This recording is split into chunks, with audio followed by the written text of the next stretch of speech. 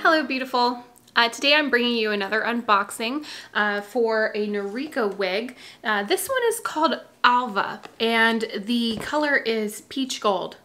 Um, comes in the normal Noriko box. And as always, all of my wigs are sent to me from wigstudio1.com. So thank you very much. Not a lot of frills with the packaging. It is just the tissue paper and then the wig is just in there. Uh, there's no bobby pins. There is, uh, I believe, yeah, there's a little bit of a, like a form inside of it, but there's no, I don't think there is anyway. Yeah, there's no actual, um, oh, this is a cute color. There's, there's no hairnet or anything like that. So it does come with something to keep the shape. So before we turn it, oh, that's cute. It is peachy. It's a peachy color. That's really cute. Um, before we put it on, uh, I want to show you the cap. So it is a basic cap construction. Um, there's literally no frills whatsoever except for maybe this one little line of felt right here that should feel like pretty good if you don't have a lot of hair up here. Um, other than that, pretty basic cap construction. You have regular ear tabs. They are not open. They are uh, not felt covered. And then your nape is felt covered, but it's not extended. And you have bra strap adjusters that you just pull to adjust to your head.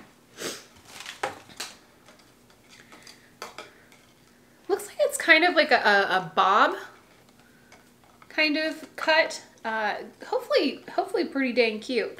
Um, let's talk about the color. So this color is called Peach Gold.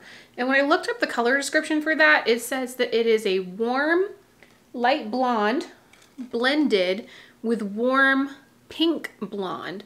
And I would say that is very accurate. This is definitely a warmer color. And as I get it closer, hopefully you guys can see a little bit of that pink that is running through here. Now this is a predominantly blonde wig. It is not predominantly pink, but it feels like there's there's just a little bit, maybe on the top, you guys can see that more. Let me try to adjust that.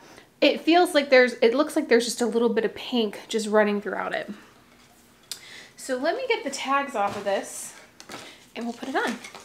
All right, so before I put it on, I'm gonna give it a shake because there is quite a lot of permatease on the top and I really wanna loosen up the fibers there and make sure that none of the permatease is actually showing through uh, the wig. So just give that a good shake and then I'll comb it through. Now there does appear to be some kind of like silicone or something on the fibers of this wig. I don't know if it's coming up in camera, but honestly, it kind of looks like when you haven't washed your hair in a few days, that kind of a, a texture. So I would definitely uh, wash this wig before I wore it out of the house. Uh, I'll go ahead and put it on for you guys, but definitely if you see any residue like that, it's probably just silicone to protect your fibers, uh, but it's just a good idea to, to give it a good wash. All right. So this is how she looks on me. It does have these cute little wispy bangs. I really, really like that. I would obviously have to trim them a little bit for myself. Um, but not much. They are really close to being the right length for me. This is kind of a little punky of a hair of a haircut. I really kind of like it. It hits me in the right place, right here for a traditional bob. I'm not so sure about the color on me. I wish it had some rooting, to tell you the truth. Because when you don't have rooting, you can really see, sorry, I'm right up on my microphone. I'll talk a little quieter. You can really see the permatease through there when you don't have rooting. So I think that this would be a really, really, really good style for a throw on and go wig, but in a different color that has some rooting. That's actually, it, it's honestly, it's a really, really cute style. I'm really, I'm really liking the style there. I had to play with it a little bit, but uh, the the bangs here I really am enjoying because most bangs are really, really long on me. I have a quite short forehead. These are hitting me in kind of an appropriate place, so I enjoy that. Let me go ahead and give you the measurements and then I will give you a 360. Okay, so the bang is 3.9 inches, which is a lot shorter than a lot of the wigs that I've reviewed. A lot of them are like five, six, even seven inches long. Um, and I would always cut those, but these are actually rather short. So I can even side sweep them just right out of the box. Um, the crown is 9.4 inches. The nape is 3.9 inches.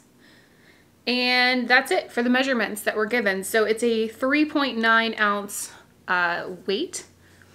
And yeah, the color is warm light blonde blended with warm pink blonde. So peach gold, definitely warmer, not really cool at all. So very, very warm shade. All right, let me do a 360 for you guys and let you see what she looks like on all sides.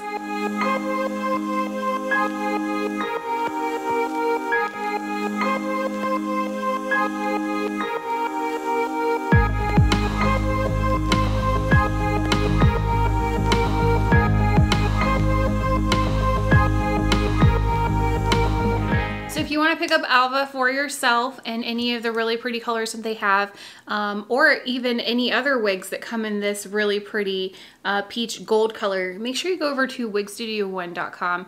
Um, and before you do, check the description in my video here because if there are any coupon codes, I'll make sure to list those for you.